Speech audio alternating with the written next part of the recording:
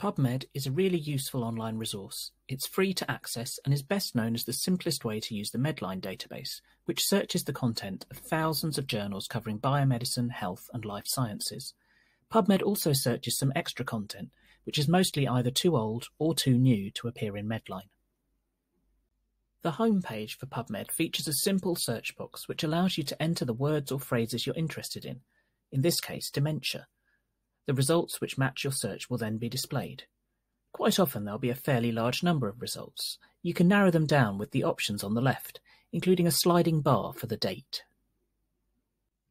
Each option you select from this menu, such as article type, will narrow your search down to only those items which match, and there's a button for additional filters which you may wish to use, such as age and subject.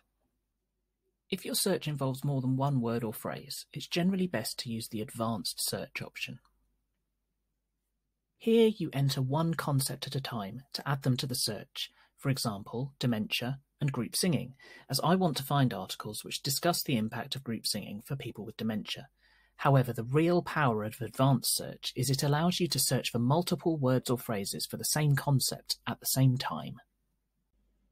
This uses what we call the Boolean operator OR, I can enter dementia or Alzheimer's first, then group singing or choir, and the search will find and display any articles which match one word or phrase from each of those two sets, increasing the number of articles I find.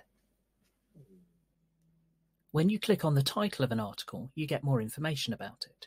If there's a free version of it, there'll be a note to alert you to this, and links to take you to it.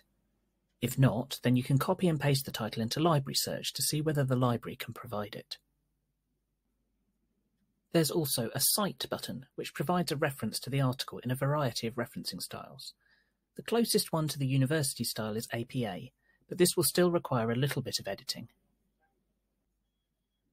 Further down the screen, you'll get the abstract for the article and a menu on the right of additional information, including handy options like similar articles, which allows you to browse articles on closely related topics, and cited by, which gives you links to articles that have referred to the one you're looking at. If you use PubMed a lot, it's worth setting up an account, which allows you to save articles and searches, and can even alert you to new articles on topics you're interested in. Finally, it's worth knowing that the current version of PubMed, which launched in summer 2020, has been optimized to work well on mobile devices. On the mobile view, the filters for the search can be accessed from a button above the results. PubMed is a great resource to use when searching for many health and medical topics. Your librarians are here to help if you want to know more.